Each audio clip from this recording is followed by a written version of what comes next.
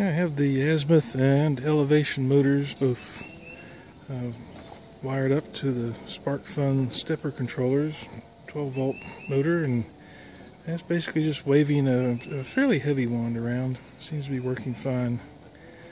This will be uh, for my SatNOGS 435 megahertz antenna satellite follower.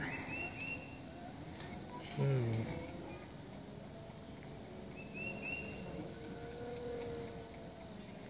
to watch out now.